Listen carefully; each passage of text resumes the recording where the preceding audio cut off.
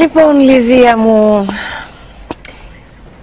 πότε σου μπήκε στο μυαλό η ιδέα να μοιραστείς και με άλλο κόσμο αυτό το κομμάτι της ζωής σου; Δεν ξέρω αν η μετέπειτα φίλη σου, δηλαδή από τη στιγμή που γνώρισε τον άντρα σου και μετά, γιατί ε, βλέπω ότι μετακόμισες, δεν ζεις στην Αθήνα, ζεις στη Θεσσαλονίκη, εκεί είναι η οικογένειά σου όλη. Δεν ξέρω λοιπόν αν ο περιγύρω σου ήξερε την ιστορία σου. Τώρα τη μοιράζεσαι με όλους. Ναι. Όχι, ποτέ δεν τόλμησα να πω την ε, ιστορία μου σε κανέναν. Ναι.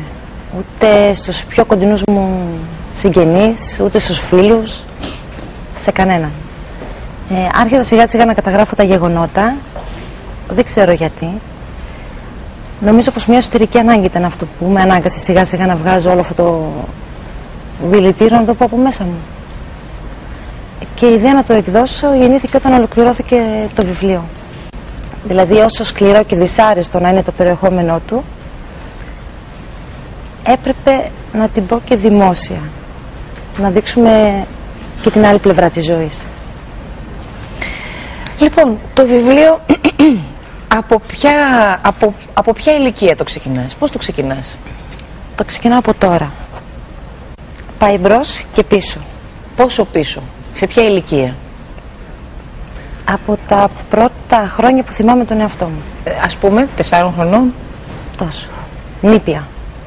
Από τότε που έχω αναμνήσεις. Σκληρές αναμνήσεις. Από τότε αρχίζω να καταγράφω αυτές τις αναμνήσεις. Έχεις αδερφό; Έχω. Έχεις αδερφό. Μεγαλώνετε μαζί στο ίδιο σπίτι; Ναι, αν και δεν θα ήθελα να αναφερθώ στον αδερφό Ωραία. μου. Ας τον αφήσουμε τον αδερφό σου. Πες μου λοιπόν... Τι να πω, δεν ξέρω...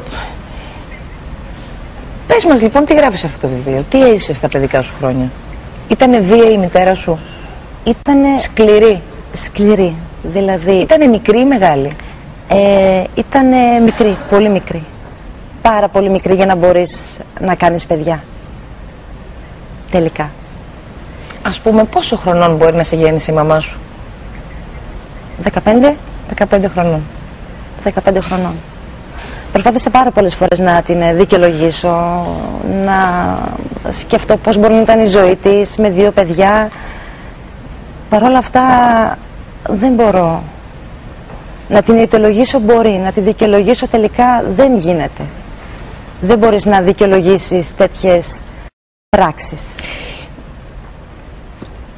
Πες μας κάποια από τις τιμωρίες.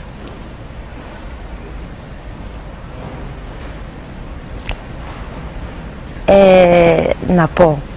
Θα αναφερθώ μόνο, θα πω μάλλον μόνο ότι εκτός από κάποιες εκρήξεις που μπορεί να είχε και να ξεσπούσε άγρια, βία τέλος πάντων, ε, γενικώς ήταν συγκροτημένη. Ήξερε πολύ καλά τι έκανε. Τα έκανε με ηρεμία, με βλάβεια, δηλαδή καθότανε και έκανε αυτό που έπρεπε να κάνει. Είτε να σε δίνει με μια ζώνη, είτε με, μια, με ένα καλώδιο. Τώρα δεν μπορώ να πω και πολλά πράγματα γιατί είναι σκληρά αυτά τα μέσα με τα οποία χρησιμοποιούσε για να προκαλέσει κακό. Χρησιμοποιούσε δηλαδή κάθε φορά νέες εφάντασες τιμωρίες για να εικονοποιηθεί. Ανοίγοντας τυχαία το βιβλίο τώρα. Γιατί όπως είπα, το βιβλίο μου το φέρατε σήμερα. Εγώ διάβασα το δελτίο τύπου που θα ήθελα μετά τις διαφημίσεις σας Σιμινάκη να μου το φέρεις στο δελτίο τύπου. Για να καταλάβετε το δικό μου σοκ διαβάζοντας αυτό το δελτίο τύπου. Χωρίς να έχω διαβάσει το βιβλίο. Λοιπόν, ανοίγω λοιπόν τυχαία το βιβλίο προηγουμένως και πέφτω πάνω σε μία σκηνή όπου ε, με λίγα λόγια λέει ότι ε, έχεις γυρίσει Είχες μια αγωνία να γυρνάς γρήγορα από το σχολείο, να είσαι πολύ γρήγορα στο σπίτι; Όχι, αγωνία δεν είχα. Ε, έτρεμα να χτυπήσει το κουδούνι για να πάω στο σπίτι, γιατί έπρεπε να είμαι στο σπίτι σε συγκεκριμένο χρόνο. Όλα ήταν με χρόνο. Μας χρονομετρούσε, με χρονομετρούσε στα πάντα. Οπότε και στο σπίτι έπρεπε να φτάνω σε δευτερόλεπτα, πετώντας. Λοιπόν, εδώ λοιπόν ε, μία μέρα που περιγράφεις εδώ λέει ότι γύρισε σπίτι, πάντα έπρεπε να βγάλεις τα παπούτσια έξω από την πόρτα. Τι με κοιτάς; Να αφήνεις τα παπούτσια έξω, αλλά τα παπούτσια πρέπει να είναι καθαρά και τα πόδια καθαρά. σου λέω τυχαία το άνοιξε. Δεν ε, έψαξα να βρω γιατί δεν πρόλαβα. Λοιπόν, ε, διαβάζω.